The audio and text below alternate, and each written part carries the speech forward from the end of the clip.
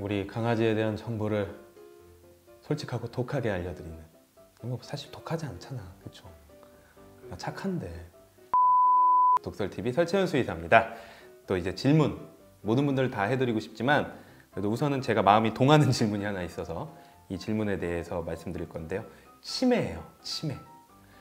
윤민영님. 네 노경 강아지의 경우 치매 예방을 위해 머리를 자주 쓰게 해주는 게 좋다고 들었는데 노즈워크나 뭐 간단한 동작 가르침. 노견의 경우 간식을 쉽게 줄 수가 없어 보상도 못 해주는데 어, 간식 없이 머리를 쓰게 해줄 수 있는 게임, 장난 등 방법이 있을까요? 제발 가르쳐 주세요. 라고 말씀을 해주셨고 지금 보니까 사실 노견이어도 간식은 먹을 수 있어요. 네, 안전하고 좋은 간식들 먹을 수 있는데 윤민영님의 반려견 같은 경우에 의욕도 많이 없고 원래 입도 짧아서 사료도 안 먹었는데 지금 신장도 하나 적출했고 심장병도 있어서 처방식만 먹으니까 다른 간식을 먹기가 힘든 거예요. 아이고 가수치도 높고 당뇨병도 있어서 주 3회 정도 매번 검사랑 수행 맞으러 다니고 산책하면 너무 흥분해서 산책도 자제. 이 흥분이 어떤 흥분인지 봐야 될 것 같아요. 좋아서 흥분하는 아이인지 아니면 싫어서 다른 강아지를 보고 싫어서 흥분하는 아이인지. 근데 심장병이 있으면 또 흥분하면 안 되니까요. 머리 쓰면서 몸으로 장난치고 놀 수 있는 방법이 있을까요? 음, 이거 되게 힘드네요. 되게 어려운 건데 우선은 기본적으로 치매에 대해서 말씀드리면 강아지들도 치매에 걸립니다. 치매 증상 사람과 똑같습니다. 사람과 똑같아요. 근데 사람보다 더 늦게 발견하게 되죠. 아무래도 사람보다 더 늦게 발견할 수밖에 없는 게 대화를 하지 않으니까 행동으로 우리가 발견을 하게 되기, 하기 때문에 사람보다 더 늦게 발견되는 경우가 많아요. 우선은 저희 슈나 같은 경우에는 가장 먼저 보였던 치매 증상은 음, 의미 없는 운동이 늘어났어요. 의미 없는 운동성. 그러니까 계속 방을 빙빙 돈다. 계속 그냥 걸어 다니는 거예요. 의미 없이.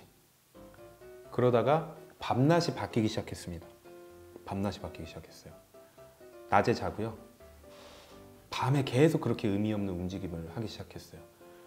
그리고 식욕이 증가합니다. 그러니까 밥 먹은 지를 식욕 중추도 같이 망가지게 되거든요. 밥을 먹으면 식욕 중추라는 곳에서 포만감을 느껴줘야 되는데 거의 같이 망가져 버리고 밥을 먹은 지 까먹기 때문에 계속 먹어요. 계속 먹고 싶어요. 그리고 똥오줌을 못 가리기 시작합니다. 분명히 잘 가렸던 아이인데 눈이 안 보임에도 냄새로 자기 화장실을 찾아서 갔던 아이인데 뭐 아무데나 싸기 시작해요. 어 그리고 나서 가장 슬픈 거죠. 보호자를 알아보지 못해요. 저희가 들어 제가 들어가도 몰라요. 네. 오히려 제가 들어가면은 저 구석에서 자고 있는 아이 제가 옆에 가서 그냥 쳐다만 보는 적도 많았고요.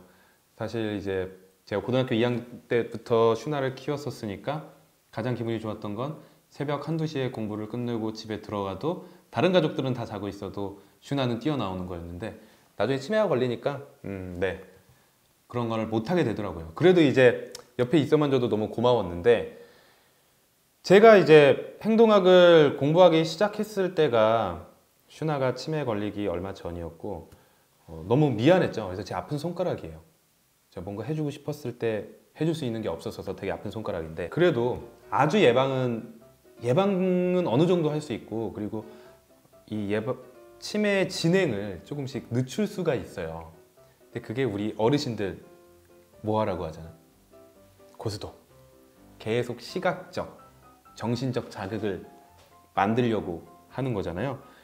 강아지들도 뭔가 계속 정신적 자극을 줘서 치매를 조금씩 조금은 좀 늦출 수 있는데 그게 nose work.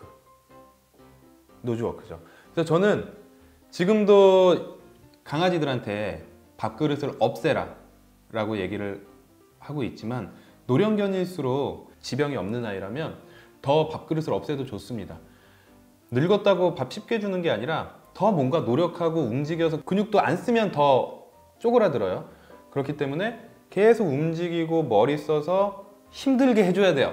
스트레스, 뭐 약간의 좋은 스트레스를 받을 수 있도록 해줘야지만 치매가 예방될 수 있고요. 또 하나는 좀 관절이 아프고 이런 아이들 밖에 나가는 거 못한다고 생각하시는 경우가 많은데 개모차 이용해서 냄새만이라도 맡고 콧바람이라도 쓸 수 있는 게 정말 좋아요.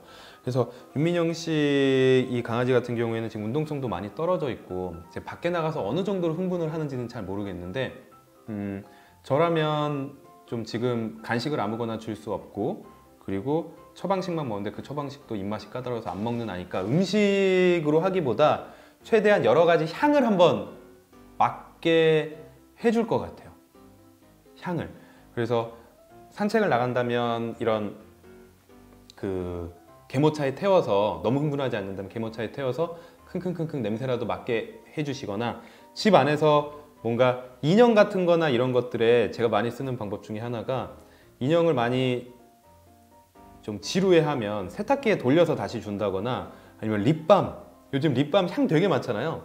뭐 딸기 향, 수박 향 막 이런 것들이 있는데 립밤 같은 경우에는 조금 어 그래도 우리 입술에 닿는 거기 때문에 먹어도 되게 만드는 경우가 많기 때문에 뭐 립밤을 인형에 묻혀서 한번 줘본다거나 어 아니면 뭐 아로마 테라피나 배치 플라워 같은 것들 그 향을 마음을 안정시키는 향들이 나니까 후각 자극도 많고 저는 좀 괜찮을 것 같아요.